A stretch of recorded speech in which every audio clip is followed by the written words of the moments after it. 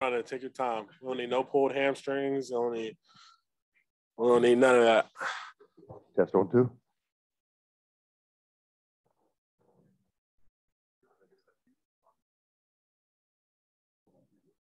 I say I don't need to see Gary on the on the floor right now holding his hip. Yeah. no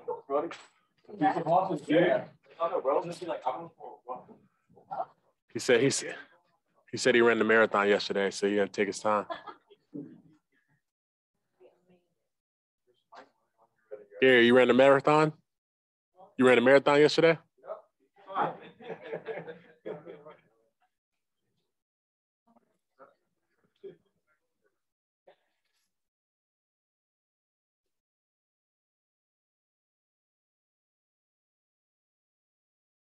All right. Thank you, Grant, for being patient. Open up for questions for Grant.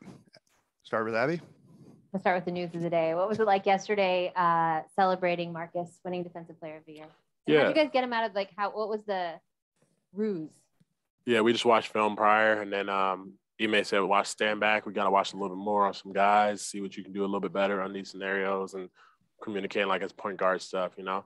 And we kind of all just walked out because none of us really knew. And then we saw everybody kind of wrap, gather together, and we looked at the the what do you want to call it, Audi. What's the what's the first bit? I don't know. The thing that holds the big um, post board. So next thing you know, um, he comes out and we were like trying to like not make it seem obvious because Gary's standing right there, and then we're all just kind of huddled together. And then it was it was dope to see not only just the re- recognition that he deserves because he works extremely hard. He's been in the league for eight years, hounding dudes, and been one of those guys that if you ask anyone in the league, it's not not fake news. It's not one of those where it's like, all right, he doesn't deserve it. It's one of those where like everybody respects it.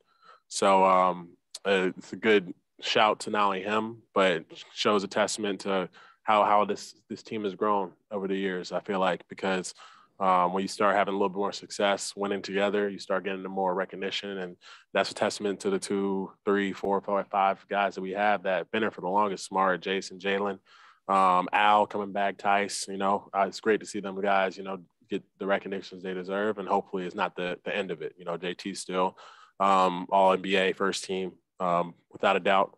And then um, Al still should be all defense. Same with Rob. Same with uh, JB. Probably deserves a reward. Like you, you look down the line and you look, and you may necessarily know it wasn't Coach of Year finalist, but um, he's definitely in that conversation of one of the best young coaches in the league. So um, just thankful to have not only Smart get the recognition, but we gotta you know prove prove that as we continue through these playoffs. Taking some pride. I mean, you you stumped for him pregame that one day. What's that? You taking some pride. You stumped for Marcus. You pushed for this. Oh yeah, yeah, yeah. I, I don't take any pride. You know, it's it's not not me that's out there doing doing that doing that job. That's all smart. So um, I just try and help any way I can. As a team, is there some gratification? I mean, um, being the number one defense and all of that, but seeing the recognition. Yeah, it's one of those things that as a team, um, you kind of just appreciate. You know, because oftentimes you know it goes to around the league maybe one thing or another. You don't necessarily get those awards. So um, to see that for a guy, especially like Smart, who puts his heart and soul every single night to every single game, uh, it just it just shows a little bit of um, like love that, that I feel like we we give them every single day, but shows a little love national nationally as something that I feel like it has has been a long time coming. So um, excited to see see that. Hopefully that's one of many more, and um, let's continue this training moving forward.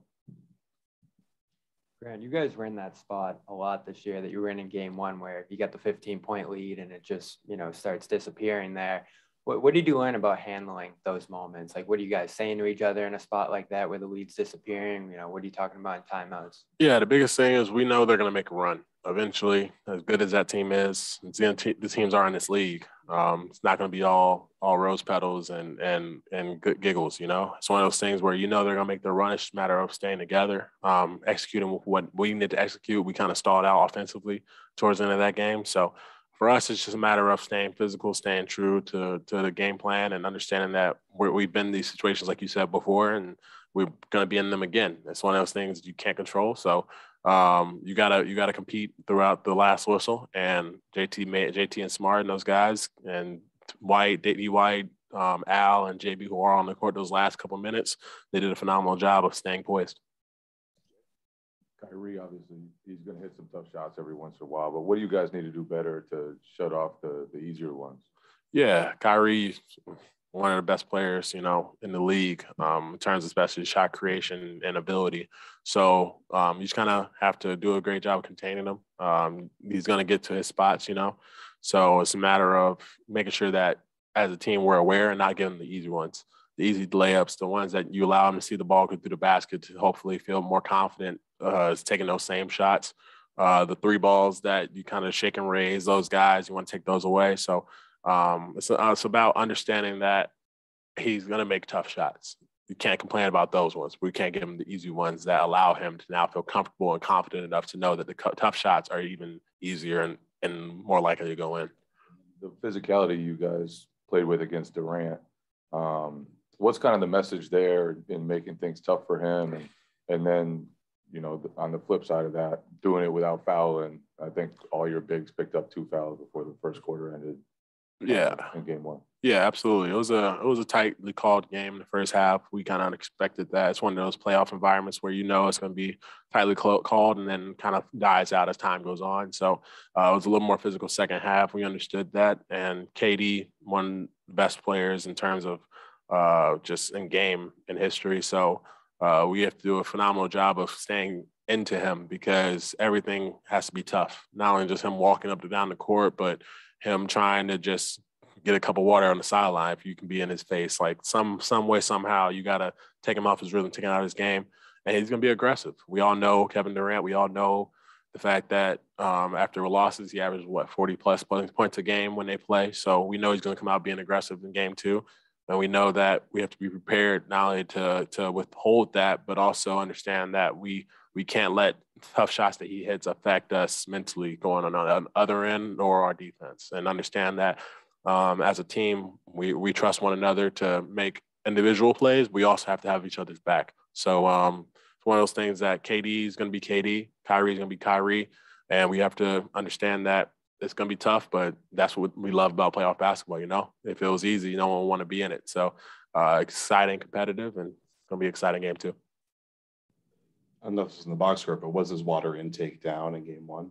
I don't know, man. Um, I couldn't tell you that, but all I know is that um, we did a good job, but it's not going to be like that every every game, every series. Um, he's he's not a guy that necessarily has droughts like that or cold streaks. So we understand that we cannot expect him to score what he still had what 20 plus point points anyway. So we can't expect him to go 9 29 for 25 every game. So um, it's one of those things that Kyrie had a phenomenal game. KD had a good game, you know, but not KD like we know how KD is. So we understand that we have to be better. Um, there's a lot of room for improvement. And as a team, we understand that it's not over. You guys usually would kind of like stay underneath and switch up towards him, but you were a lot of the time just like trying to get in front of him and feeding him into drop coverage. So do you feel like you kind of surprised them with the way you were covering him and you feel like you have to continue to evolve to stay ahead of him? Um, yeah, we just have to continue to adapt, continue to evolve. Um, game plan wise, it's just a matter of executing it. Um, I don't know what coverage necessarily we had him in the rest of the whole game, but I knew that we were just into his body, making sure that we were under him, making sure that the physicality of play was there. And we know not many guys can can block his shot up top. Um, not many guys can even get a shot down low. So it's just a matter of making sure that you show he sees the crowd and making sure that all the other guys around him understand we're to in their airspace as they catch the ball. You know, because um, KD he's gonna create and make tough shots, and then he's gonna make tough passes too sometimes. So uh, we just have to do a better job of not only keeping the ball in front of us and keeping a, uh, a good help behind us, but also getting getting out to guys like Goran and those guys who make made shots last game, keeping them off the glass. Grant, after we talked uh, after game one, you were pretty amped up about this. I know you said it's not over, but just how confident are you in this group right now and the direction that you're headed? Absolutely. Um, I trust this group with anything. You know, it's one of those things where I wouldn't want to bring any other guys to the wars with me. You know, because this this group has each other's back. This group's gonna fight to the last whistle, to the last breath. So um, it's one of those things that we stay together throughout the ups and downs. We stay together through the pains and and and the the glory like we like we have experience with Smart's DPOY, but um, it's a matter of understanding that this is not one game doesn't dictate a series. One game doesn't um, win you the NBA Finals. You know, so for us, it's about understanding what our goal is, understanding that it's not going to take just one night to make us feel good. It's going to it's going to be a grind throughout the whole thing. How do you deal? You said earlier about the physicality and the officiating was tight early. How do you kind of deal with that? I mean, does it, the first couple of plays you're like, okay, this is going to get, get called tight. How do you adjust to that? Because game two could be totally different with a new crew than game one. Absolutely, you have to adapt. Um, you have to see how the game's being called that night. Some nights you're going to see foul calls early, and then they're not going to call them in the second half. Some nights they're going to be fouls throughout the whole way. Some nights there are going to be no fouls. So it's just a matter of understanding that with one another, we have the the the depth, we have the ability, so we have to implement our play style. But if the game's being called a certain way, we have to adapt to how the game is called, um, because we understand that each player matters. Um, and at the end of the day, uh, you can't control what the referees say, do, like call. So for us, it's just a matter of staying with one another, understanding that this game can be called tight. We can adapt to that. If the game's being called physically, we can be physical, you know? I know during the regular season, you have conversations constantly with the officials, and it's not always complaining, it's just sometimes getting things straight. Can you do that in the playoffs? Or are they like, Grant, I'm not trying to hear you right now? How does that go? I feel like either way, I'm a talk. So um, I, at the end of the day, I feel like those guys, the, these are the best crews that we're going to have all year. You know, they they they worked through it out the entire regular season to get to the playoffs, so it's a credit to them. And we understand that uh, no one's perfect, and we can't expect them to be perfect. So um, that's why most of the stuff is conversation. It's not us yelling or screaming, you know, dis- like disrespecting, you know, because um, these are the best officials in the league. And for us, it's just a matter of understanding that yes, they might have saw something differently than we did.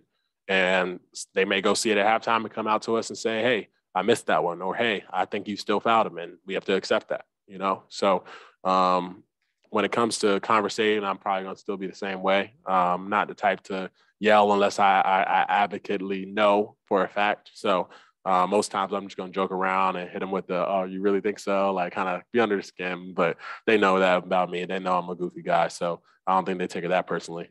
One more. Okay. Can you take us to the final play, your view?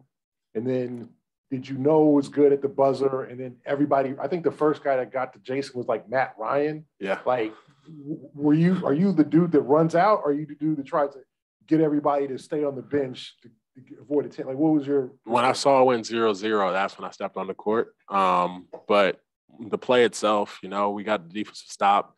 Um, we did a good job on you know getting getting, getting Kyrie to try and get the ball out of his hands. He hit KD and he made he almost made a tough shot.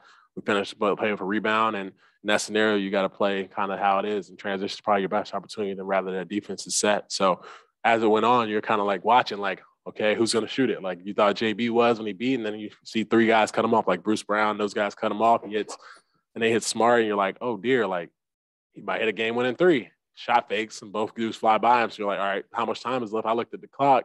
By then, he throws it to JT. He does like a pirouette and lays it up, and clock runs out. And that's when I was still kind of in shock that the ball went in and everybody was on the court by then. So I was just over there hyping the crowd up, you know, because I knew I wasn't going to get the JT. I knew I wasn't going to be able to like tackle those guys. So I was just like, let's let's have some fun, you know, and then uh, dapped them up afterwards and said and dapped each each one of them up because that's a, a competitive playoff win against a talented Brooklyn Nets team. So um, hopefully, you know, the excitement like that isn't every single night. Hopefully we can get some good ones, good wins, you know, where it's one of those not buzzer beaters. But if it is, let's just have some more fun. Grant, this is the, the first time for you that you've had, you know, a true home court advantage in, in a best of seven series, given, you know, what happened at the pandemic and fighting through what happened last year, being, being the road team.